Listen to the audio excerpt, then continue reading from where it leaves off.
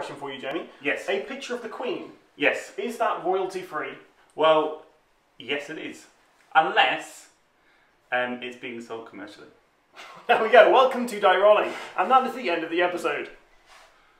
But No. whilst we've got you, right? Well, we've got you. Okay, so one of the questions we've been asked quite frequently um, by one person once, and that was Will, uh, was what is a legacy game? And a legacy game is a throwaway game with a story, right?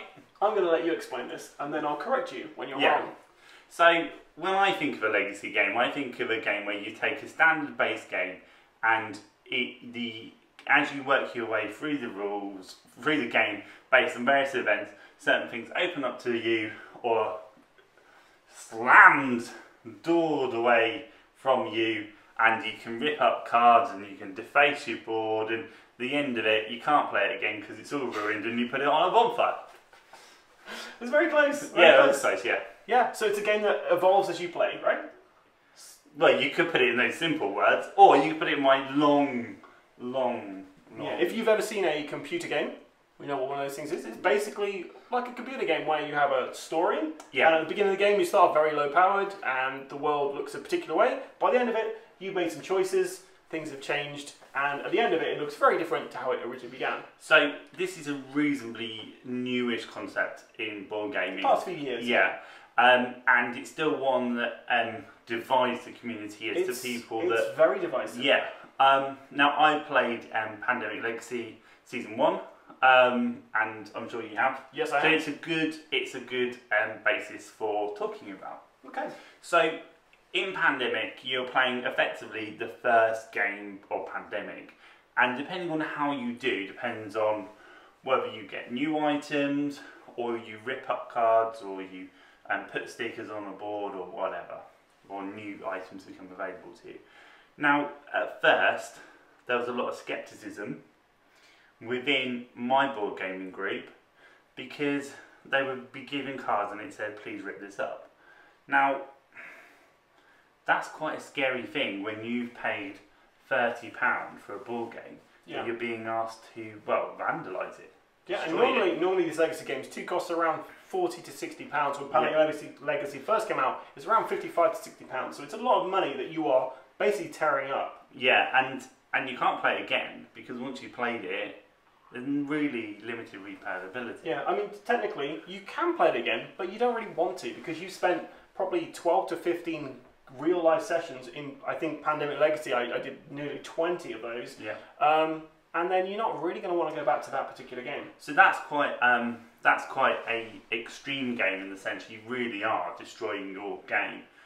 On the flip side is a game like Gloomhaven, which purposely does when it um, was kickstarted, also had um, a sticker set so that you could reuse the game again if you wanted to. Yeah.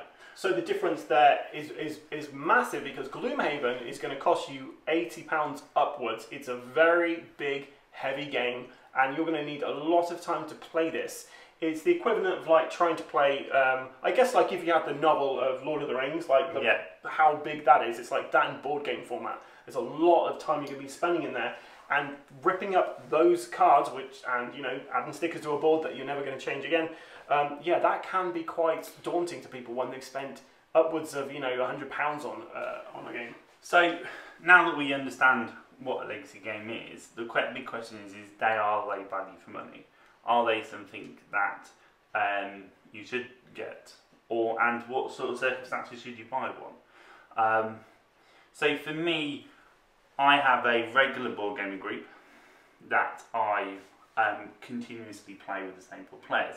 Unfortunately, one of those is Will, but still, you can't you can't Never mind. um, now, I consider those players that I play with players that I will continually play for for years. And that's an important point because if you're playing something like Gloomhaven, unless you can dedicate six months of your life to just playing Gloomhaven, it's going to take a very long time to finish. And so, if you're going to buy a game like that, you have to know that you have the core player base to continue that game for. There's a kind of upfront promise between the Yeah. players that you are going to you know, stretch it out, and Yeah. you're happy to turn up every week and just play the same thing. especially if you're the player bringing the game. You know, we split the costs of um, Pandemic, Mhm. um, but um, Gloomhaven, one of the players in our group, actually owns that game. That's his game. So for him to entrust us with that game um, means that he's committed to us for a number of years. It's like a relationship, isn't it? It really is. uh, for a number of years, um, and more importantly, we're committed to him so that we can all go on this journey and story together. So my first, my first point on it is that you have to have enough people, enough players that are committed to want to play a legacy game. Yeah. So uh, the first legacy game I ever played was Risk Legacy. So it's the game board game Risk, but a legacy version. So things change as you play. The board changes up. You can do certain things in certain countries, which limit the, the bonuses you'd normally have there. And um, it took me. There's 15 games of this. Yeah. Took me two and a half years to actually complete it because there were five people and it's very hard to get those people back. And also, with Risk, it's one of those games where some people can get really offended because it's very much total gotcha. And when you've got five people all trying to get world domination, sometimes people are going to team up against one particular person a couple of sessions in a row, and that person will just go, actually, this isn't fun anymore. So I found when I was playing Risk Legacy, it wasn't especially fun for everyone, and by the end of it, we just wanted to get it done and finished because we had Gloomhaven on the way. Oh. Um, Pandemic Legacy, totally different story. We had four people, same people every every week we were playing this, and it was great fun, really fun story, and it was it was something that I was quite glad I'd spent the money and investment on doing it. And going forward, all the other games we're doing Legacy, we've got the same people involved because of that initial kind of yeah. Cool. I think that leads on to the second point: is pick your game. There are so many legacy games out there of different genres and different styles. Um, there are more in certain types of areas, but I mean, if you can pick an area, there is probably a a, a, a, legacy game for it. Think about what that group of players is interested in. You know, there's no point if you're a group of players that likes Ticket to Ride, for example, rocking up with Risk Legacy. That is only going to end in disaster and one that you're probably going to all fall out and maybe ruin your board gaming group forever. Indeed. That's my yeah. Um, or, you know, I think you're quite right with that. So pick a game which you, if it's the first legacy game you're playing, try to find one which is a game that you're used to playing. So for instance, Pandemic. Most people have played this game. If not, you should really give it a go. It's a very good casual gateway game. And if you know the basic rules for Pandemic, picking up Pandemic Legacy Season 1 is a good shout because you know the general basics of this and you can teach it very easily and everyone can get involved. And the kind of most important part about that is it's a legacy game where you're all on the same side. Risk Legacy is very hard to play because you're all against each other. And like I say, people can get felt like they're getting ganged up on. Uh, Betrayal Legacy is one where it's the game Betrayal at House on the Hill, Yeah. but a legacy format. And that one, as well, is another game which, if you already know the base game, it's a really good introduction to legacy games. And I think that's a good turn into my final point, There we go. or our final point, We'll see. which I is not to confuse a legacy game with a campaign game. Because a legacy game is a game that typically has a one one playthrough.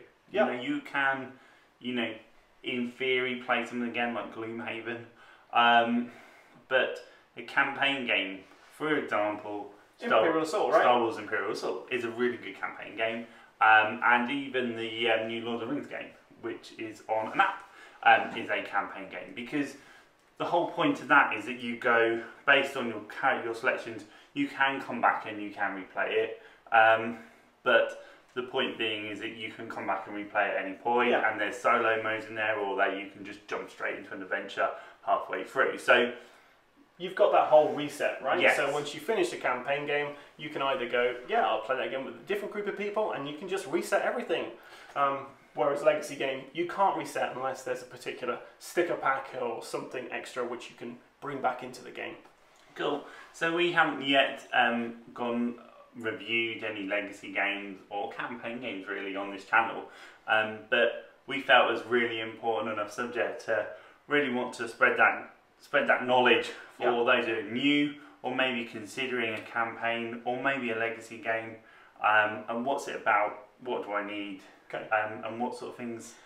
Yeah, so we mentioned at the beginning it was very divisive. Yeah. Um, the community in general is very much very pro legacy games where you rip up the cards and you make changes, or very negative in the sense that actually I like the idea that the game progresses like a campaign, but I don't like tearing stuff up and, and writing on cards and things like that. Um, my kind of thoughts on this, if I can quickly to put it out there, Of course you can. I see a legacy game like a video game. So I'm going to spend probably 40 to 50 pounds on a new video game. How often am I going to play that? I will probably play that for 15 hours maybe and I complete this whole story thing. I probably won't bother with multiplayer. I'll finish 15 hours. I've done that. Great. Board game wise, I'll pick up a board game and I'll probably play that once or twice a year. Maybe I've got 100 odd board games and it's very rare I can play all those games all the time. If you get a legacy game, it's like you've got a computer game in the sense that you're going to be getting, you're spending about the same money, you're getting much more time out of it. And how often are you going to get a board game to the table again and again and again and again? You're not really because there's so many board games out there. Whereas a legacy game, you're going to be Pandemic Legacy, for instance. You play that at least 12 games, and you're getting your money's money's worth back out of that. Yeah. I could spend sixty pounds on a board game and get it out once or twice, or sixty pounds on a legacy game and get that out twenty odd times. Yeah, and I think when you put it into that context, like um, we all have a Netflix or an Amazon or a Disney Plus subscription, and one of the things that we're really in- interested in is binging on a series or maybe a set of um, audio books or whatever, and we got into that culture.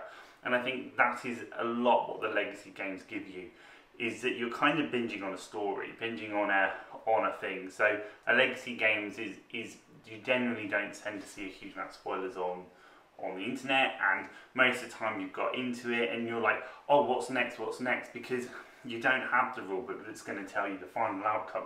You have to play through that game to get to the end. So the legacy game in terms of value for money, yeah, absolutely, it's a use once, but you've got to put it in context of, well, I have my Netflix, I have my Amazon, I have my board games, um, my um, computer games, and what I want to do is just get my way through that story and that adventure.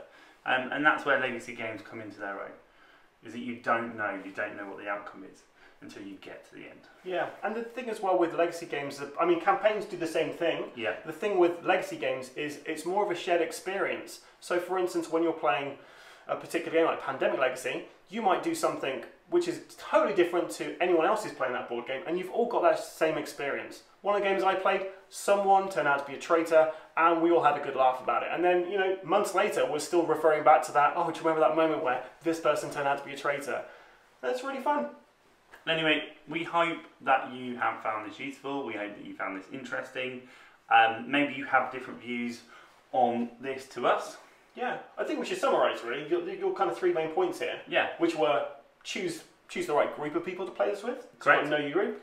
You've got to know the game. yeah. And What was the third one? Value for money. Ah, I've got to have value for money. Cool. And I think what we'll probably do at this moment is just pause so that we'll can, in this space here, just put those three points. Just in that space. Cool. I mean, we didn't have to pause because he could have just stretched the clip out, right? Like he just done a still shot and that would have stayed. We but he, didn't he didn't do that, so, he you know, and He'll probably won't even do that, and it would just be just once, like once, that, right? once again, just some magic. Cool. So now that you know those three points and um, they're there, um, please make sure that you uh, find us on our social media channels, which include Instagram, Facebook Twitter, and YouTube.